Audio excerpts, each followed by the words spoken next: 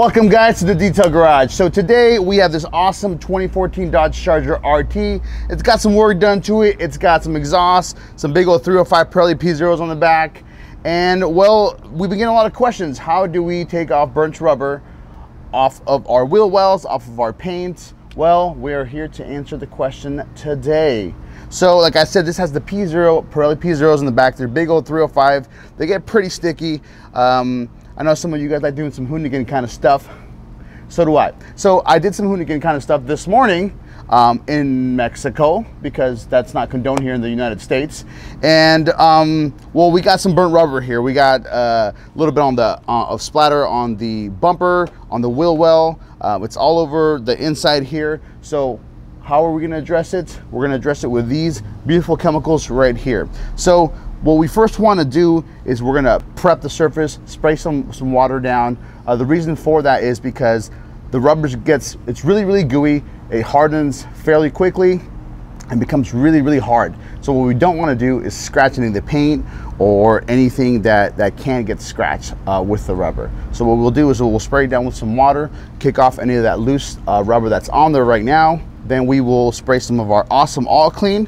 Um, it's one of my favorite products to use for this uh, when I take it uh, to my car to the drag strip.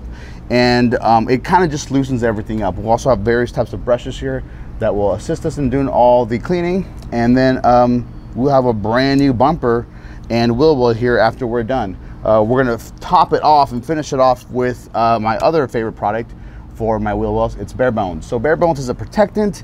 It's gonna um, not allow any of the burnt rubber, mud, dirt, debris, any you know road tar, grime, even paint sometimes, uh, to stick to the wheel well. It comes right off, makes life a little bit easier, and your car looks a lot better. Cool, so get right into it.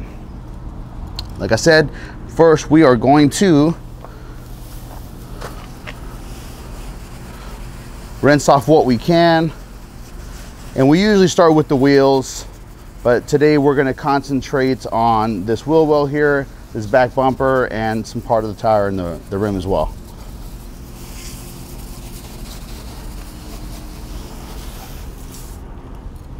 Okay, so you, as you can see, the it did knock off any of that loose stuff. It's a lot cleaner, but is it clean? It's not. No, I still got some rubber right in here, some debris down here. So what we're gonna do is we are gonna start with the inside of the wheel well. We're gonna use our all clean, okay?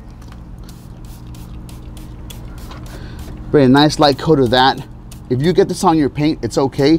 It's a very light, almost like a degreaser. It's not a, as intense as a degreaser, but it's, it's, it's a little stronger than your average, uh, average cleaner. So we'll let that sit there and emulsify and do its thing and uh, loosen up any of the, the, the rubber that's on there right now.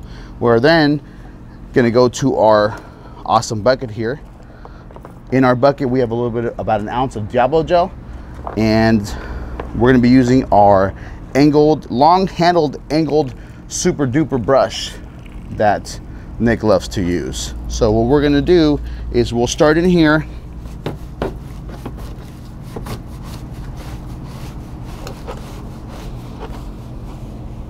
And you can see it's, it almost immediately takes all that stuff off. So this is very, very hard. It's uh, not gooey, it's not sticky. It's, it's almost like a, like a rock. So we get in there really good. If we need to respray some more onto the brush, onto there, we can do so.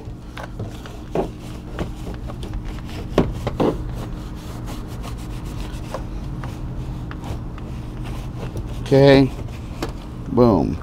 Now, if there's a little bit more of stubborn rubber that doesn't come off, or any debris or stuff on the track that's not coming off your car, you can use something a little bit more stiff. So this is our angled brush. It's very, very soft, soft bristle, so it's not gonna scratch, it's not gonna damage anything. Um, it's, it's meant for big, big rims, uh, for trucks. Uh, you can also use for wheel wells, things like that. makes life a little easier because of the long brush and the angle at the end. It makes the stuff easier to get into the, the crevices of the wheel well. I said crevice. That's weird. But anyways, we also have this guy. So this is a more stiff bristled brush. If you uh, can't get that stuff off with the softer one, you can then go up and upgrade to the this guy right here and get in there. And this is all hard plastic. You're not really scrubbing. All you're doing is agitating and letting that chemical do most of the work for you. Looks like we're all done with that. Step back a little bit, spray this down.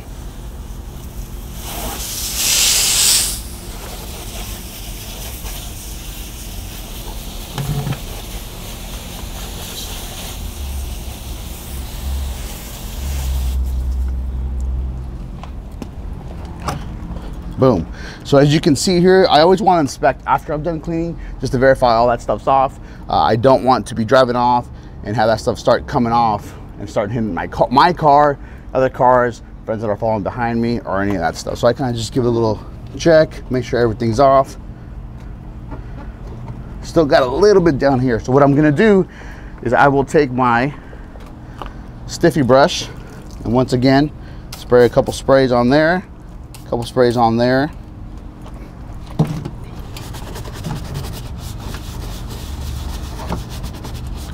And just let that chemical do most of the work for you.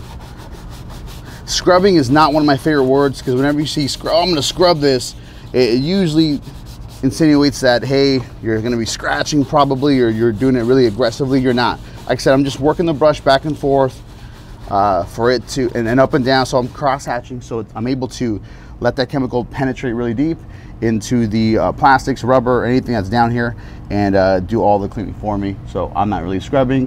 One, I'm not, you know, killing myself. And two, it's just easier and better for the car.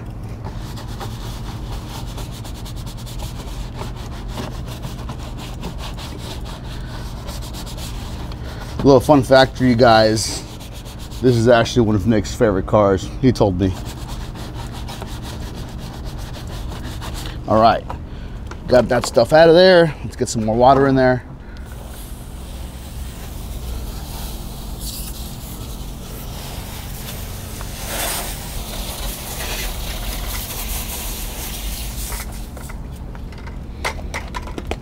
Give it one last inspection, make sure we're all good, and we're good. So all that rubber came off. Um, it took a little bit uh, of applications, took a, a, couple sprays of this and different types of brushes to be able to get that, um, that rubber completely off the paint. Again, what you wanna do is you wanna wait until it hardens if possible, just because if it, you do it while it's gooey, you're gonna do a lot more spreading, you may do a little more damage than you're supposed to.